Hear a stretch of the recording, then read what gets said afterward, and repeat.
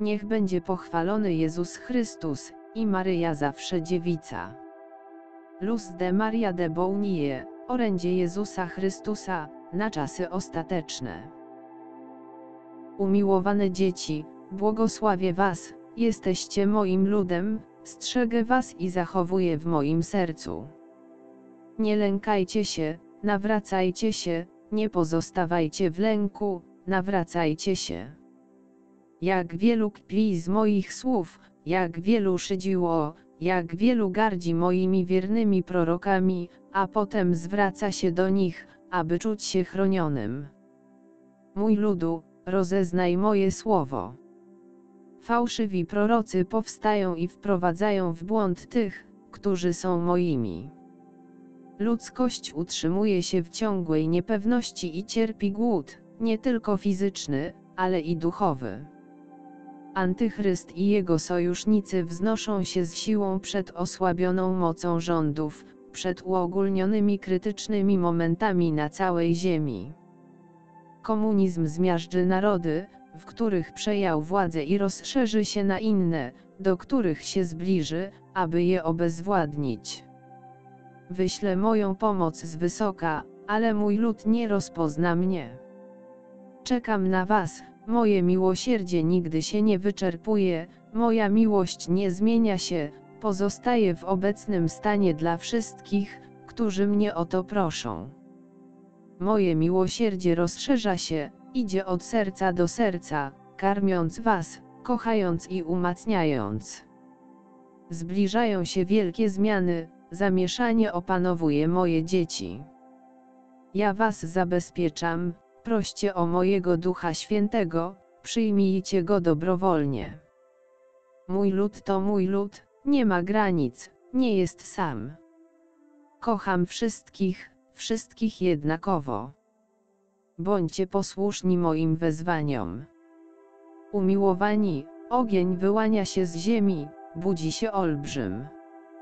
Módlcie się, modlitwa to jedność między sobą i między wami a mną. Jedność jest siłą, która osłabia zło. Mówcie do mnie, a ja was usłyszę, nie jestem Bogiem głuchym na błagania swego ludu. Jak słońce oświeca i oczyszcza ponure dni, tak moje miłosierdzie dociera do wszystkich dusz, które żałują swoich złych czynów. Jestem tym samym, który karmi swój lud, jestem tym samym, który oddał się za swoje dzieci, jestem tym samym, który przychodzi, aby uratować tych, którzy są Jego, zanim wierni zostaną straceni. Moje drugie przyjście jest bliskie, przyjdę z mocą i chwałą. Oddzielę pszenicę od chwastów. Przychodzę, aby uwolnić to pokolenie, przychodzę, aby dać mu mój pokój po jego uszlachetnieniu. Wzywam moich umiłowanych kapłanów, aby utrzymywali mój lud w jedności. Umiłowane dzieci, bądźcie silne, wytrwajcie, grzech jest ciemnością. Moja prawda, moje słowo jest słońcem, które daje światło i karmi duszę. Ja jestem, który jestem, mój lud jest moim ludem. Zachowujcie moje przykazania. Przyjmijcie mnie w moim ciele i mojej krwi. Przyjdźcie do mojego serca. Trzeba, abyście najpierw poznali siebie, abyście mogli być prawdziwymi świadkami mojej miłości. Trwajcie złączeni we mnie, ja odpuszczam wasze grzechy, jeżeli wasze serce pozostaje prawdziwie zbolałe i z mocnym zamiarem poprawy. Zapraszam was i nalegam pilnie, nawróćcie się, dość z błędami. Przychodzę dla mojego ludu. Przychodzę, aby zebrać żniwo.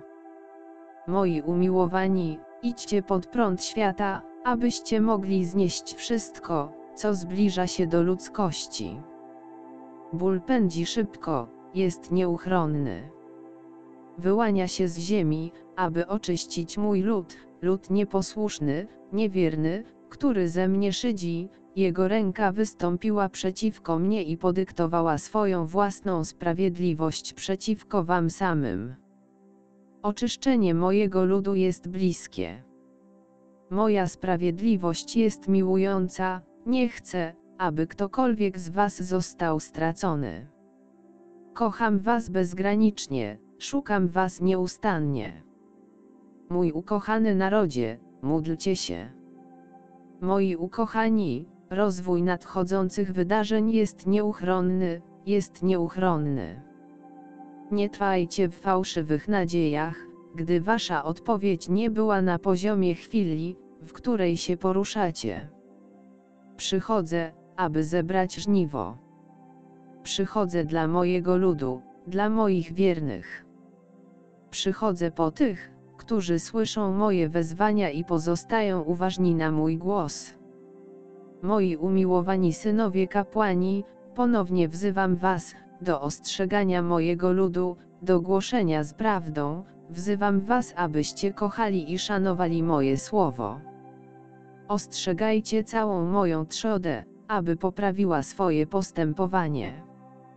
Mój umiłowany ludu, przyjmuj moje wezwania z miłością. Nie pogardzajcie nimi i bądźcie posłuszni.